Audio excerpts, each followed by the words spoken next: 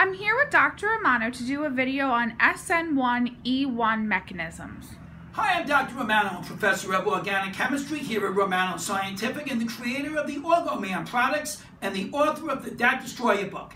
I want to go over a really good problem with you today involving the SN1 and E1 reactions.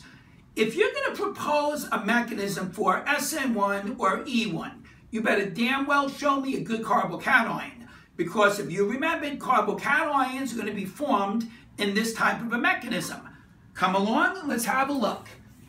Now, I'm going to give you a reaction, and I'm going to ask for actually three products.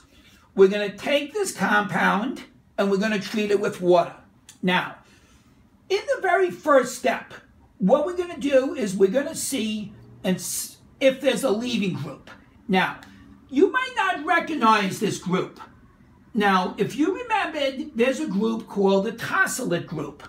Well, this is similar to the tosylate group, but it's like the tosylate group on steroids. It's called the triflate group.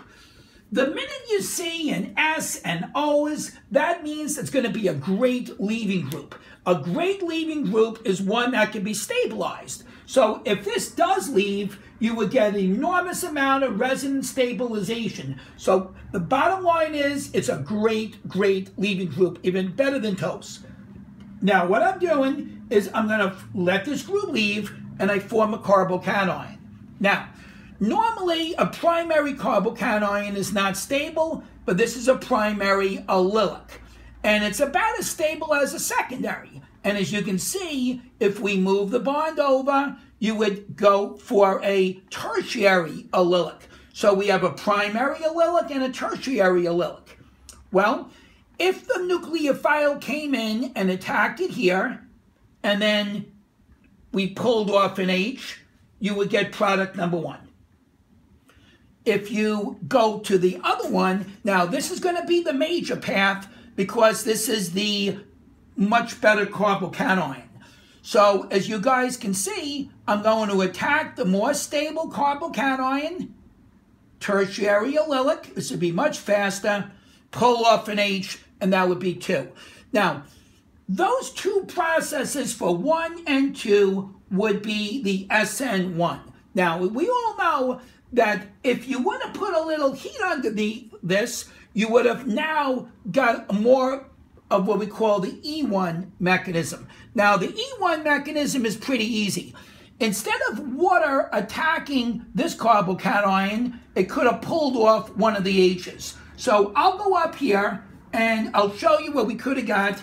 If you pulled off the H, you would have got this for the other, other product, which would have been a minor product.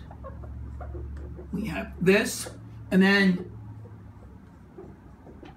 you would have got this because you would have pulled off one of the H's. And that would have been the E1. So if the question asked what kind of mechanism is operating, it would be the SN1 and the E1. And we've got an excellent leaving group here called triflate, which was resonance stabilized. I hope this gives you a clear understanding of these two competing mechanisms. If you want to get more E1, usually we put a little heat under it, and that would favor the E1 over an SN1. All right, good day to you. I'll see you in study group. Bye-bye.